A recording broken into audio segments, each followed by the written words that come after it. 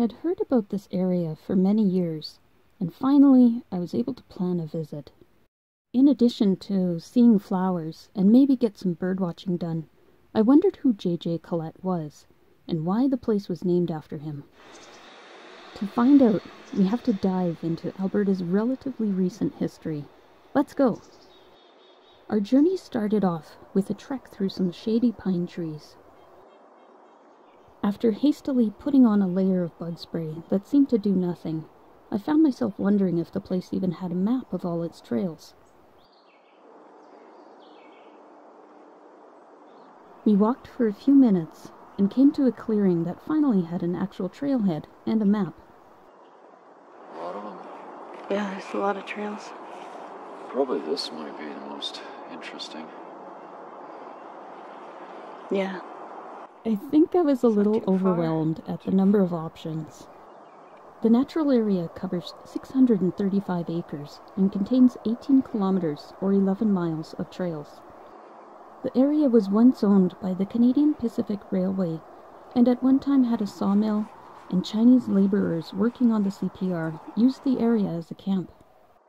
Joe Collett was an officer in the RCMP and was posted at Fort Macleod in southern Alberta. One of his duties was to recover stolen horses in the Morningside area. Within the boundaries of the natural area are rails from the corrals which he used to pen the horses after recovering them. After Joe retired from the RCMP, he lived at Pigeon Lake and would relive his experiences with his son, Jack Collett, by walking the old wagon trail. Jack Collett, whose memorial plaque is featured here, purchased the land in 1951 and operated a ranch until 1974. He then sold a portion of the land to the Alberta Wildlife Foundation with assistance from the provincial government. The site was then designated as a natural area and named in memory of Jack's son, John Joseph Collett, or J.J. Collett, who loved the area and became a wildlife technician, but tragically died in a forestry accident when he was 19. The area is well known for its abundant wildflowers, insects, and wildlife. You can see some sort of cocoon here. Unfortunately, it was too late in the year to see many birds, but there were a lot of wildflowers blooming. Like my other videos, I've identified what I can, and I do apologize if I've misidentified anything.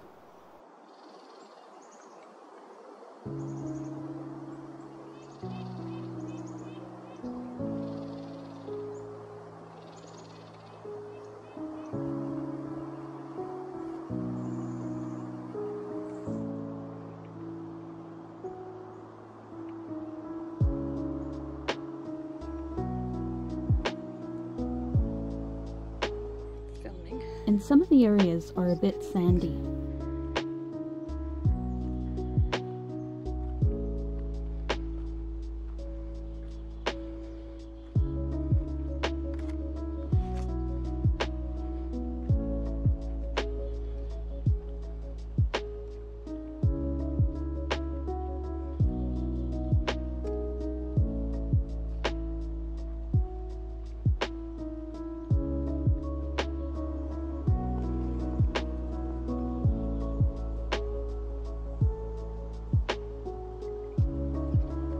This swamp, even though it looks quite still and silent, was bustling with the quiet sound of water beetles and other insects.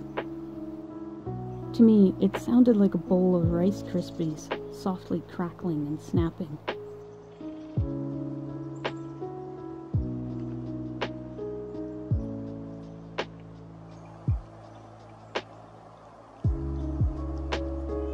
Here's another angle from which you can see the activity almost like raindrops on the water's surface.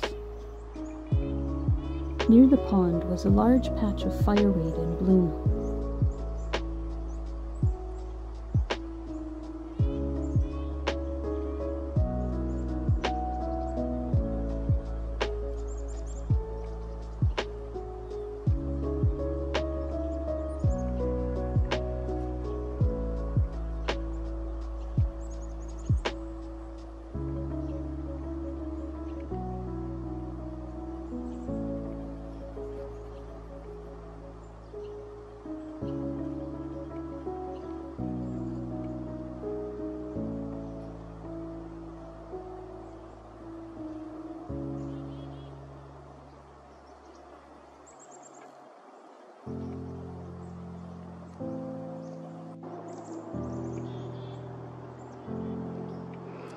So you can hear the QE2 highway in the distance. It's not very far away, unfortunately, but still very peaceful here. I like it.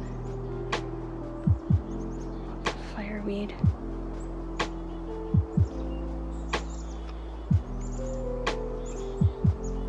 There is a police car moth on that fireweed there. On the fireweed, I spotted a police car moth, also known as the green lattice. The latter name makes me think of a superhero. It's a fairly large moth with striking colors and is unusual in how it's active during the day. I've never actually seen them awake. They've always been asleep every time I spot them. This is a real treat. I've also seen these moths at Bunchberry Meadows and Glory Hills, which I'll post the links above and in the description box below. I had never seen so many before in one place. Maybe it's a nod to Joe Collett policing the area so many years ago. Because of all the trails, the area is quite well marked with signs, but you have to remember what number you're intending to walk on. Oh, he is awake.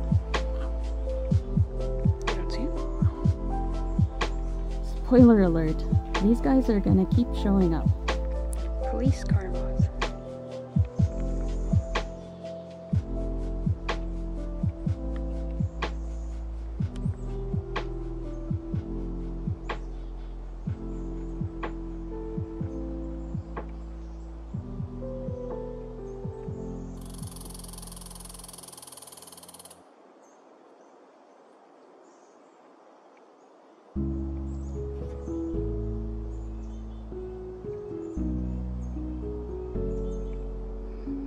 We reached a grassy clearing, which gave us a break from the mosquitoes, but now we had the hot sun beating down on us.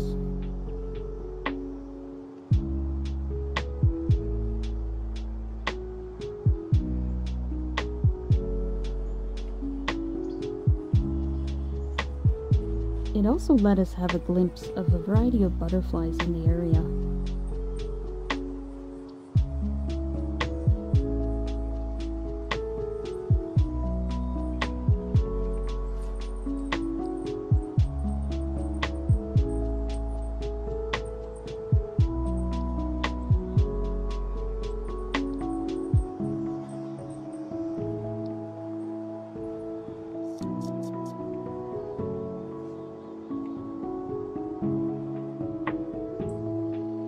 Here's a couple more police car moths with some sort of skipper.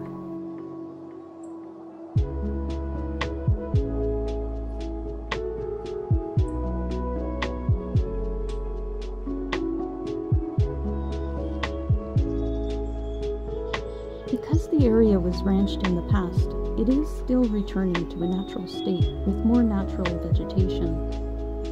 One of the signs mentioned there is still a fair amount of bluegrass.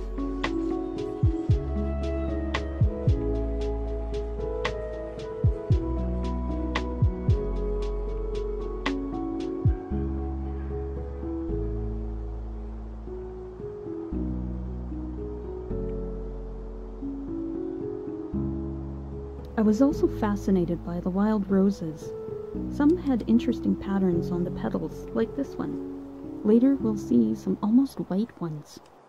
I'll admit, I've kind of given up on trying to identify the actual species of wild roses, just because they all look so similar.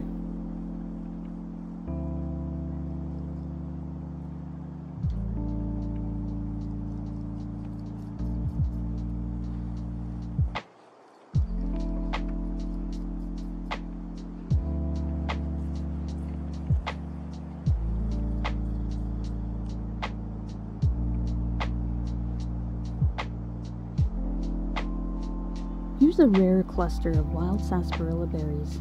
They usually get eaten quite quickly and taste great despite the big seeds being in them. We reached another boardwalk over a marshy area.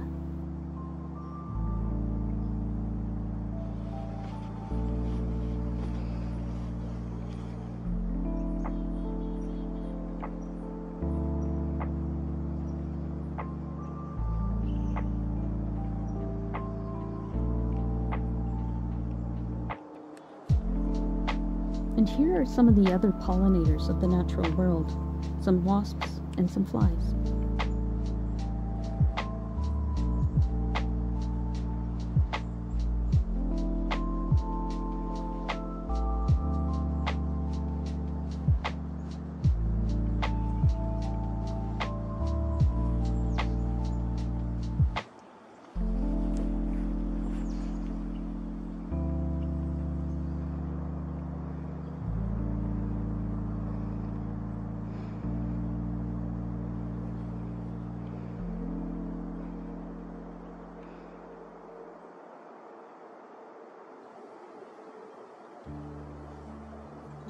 Patch of starry Solomon seals showed off their striped berries at the foot of a tree.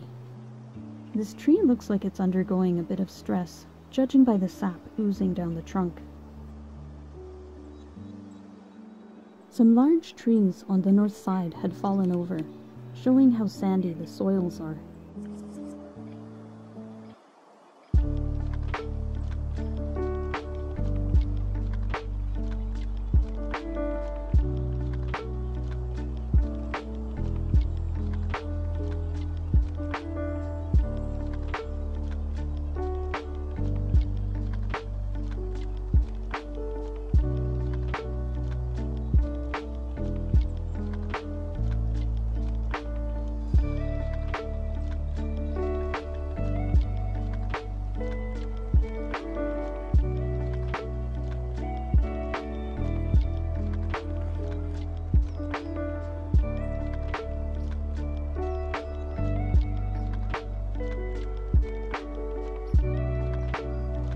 Here's another oddly colored wild rose. This one is almost completely white. This fallen tree. Pretty impressive. Chasm would make a pretty good uh, hideout from the rain. And this fallen one basically formed a living wall.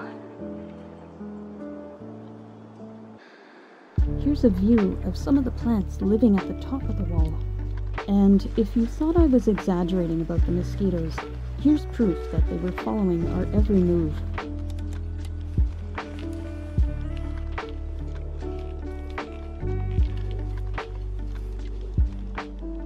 This gazebo in the middle of the natural area would make for a nice place to relax in the shade. This dark berry, despite its unusual appearance, is edible.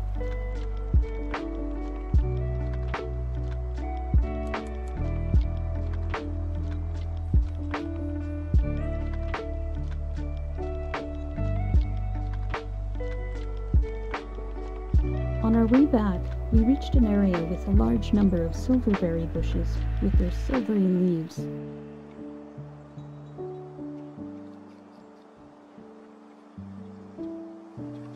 And yes, this is poop. My apologies to anyone who's eating, but I was fascinated by the butterflies. They sometimes obtain nutrients from sources like this and wet sandy areas.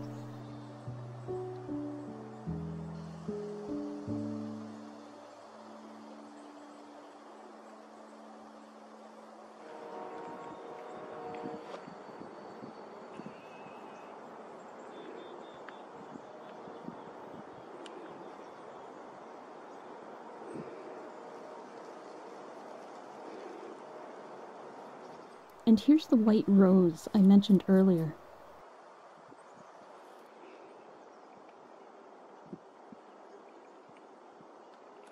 And one final look at the sandy soils and flowers. White roses in there too. Unfortunately, it was time to head back and move on. Next time, we'll take a tour of another location just slightly south of here, but with an equally interesting history. As always, thanks for watching.